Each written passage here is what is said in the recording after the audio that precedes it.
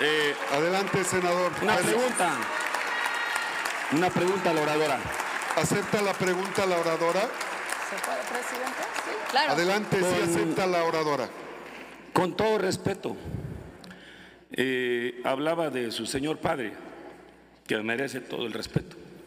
Pues fue gobernador de mi estado de Guerrero, José Francisco Ruiz Macié, un joven innovador, reformista, inteligente. Y cuando lo asesinaron, yo era senador de la República, y lo asesinaron a él y también a su hermano, a Mario Ruiz Macié. Y echaron a huir a toda la familia del estado de Guerrero. Y usted recuerda este, esos tiempos que fueron tan difíciles y tan complicados. Yo en la tribuna decía que a José Francisco Ruiz Macié no lo asesinaron cualquier, cualquier persona de la calle, como todos vimos en la televisión y las noticias, sino que fue algo, eh, una especie de, eh, de crimen de Estado. A él, lo sostengo, lo mandó a asesinar Carlos Salinas de Gortari. Yo lo dije en el Senado, lo dije en la tribuna y lo sostengo. Y le entiendo cuando hablo ustedes de encrucijada. Y a mí me parece que esos hechos que han quedado impunes, ¿quién mató a Colosio? También Carlos Salinas de Gortari.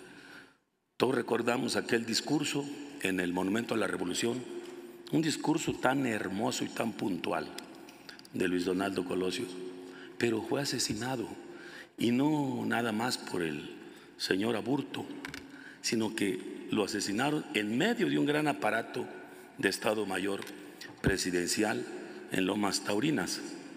Entonces, yo le pregunto a usted, ¿usted Concluya. quiere que esto continúe? ¿Usted quiere que esto siga? ¿O quiere que acabemos con esa contaminación de cuerpos policíacos que están en la corrupción y que lo que queremos es que la patria se salve? Imagínese lo grave que sería que por un voto o dos votos este, esto no pasara. Yo sé lo que usted está diciendo y su contradicción, pero en este momento es necesario que la Guardia Nacional continúe y que el Ejército y la Marina anden en las calles haciendo tareas de seguridad pública, porque es el momento. Y la patria está en esa encrucijada también. Por lo tanto, yo la invito, paisana de Guerrero, a que pueda reflexionar su voto a favor. Muchas gracias por su atención. Adelante, senadora, para dar respuesta Gracias, a la pregunta. presidente. Senador Salgado Macedonio, le respeto su punto de vista, pero no le permito que mencione a mi familia sin fundamento. Respecto de su pregunta, nadie quiere que México siga sumido en la inseguridad, en la violencia y en la impunidad. Justamente eso es lo que la oposición ha estado tratando de evitar en estos años. ¿Qué queremos? Policías civiles fuertes, capacitadas, bien pagadas, que puedan hacer su labor, la que les toca. ¿Y qué queremos? Fuerzas Armadas que hagan sus labores constitucionales y no estén haciendo labores que no deben hacer, para las cuales no están capacitadas y que además las vulnera frente al crimen organizado, frente a la ley y frente a la ciudadanía.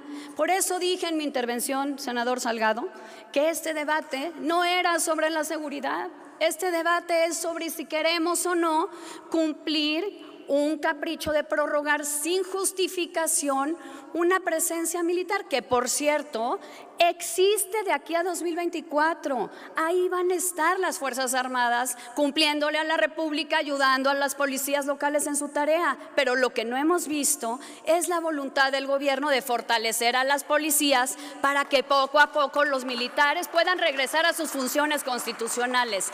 Eso es lo que hemos visto. Y yo no estoy en una encrucijada de si voto a favor o en contra, no tengo ninguna duda. La encrucijada es precisamente si me atrevo a con valentía ejercer un voto que refleje mis convicciones y sí, sí me atrevo. Voto en contra de este dictamen que va a perpetuar una simulación porque aunque sea mejor que el que vimos la semana pasada, lo que no contiene porque no lo puede contener es la voluntad política del gobierno de que va a cumplir con los compromisos que hizo con nosotros en 2019. Eso es lo que no contiene y por eso no voy a votar a favor.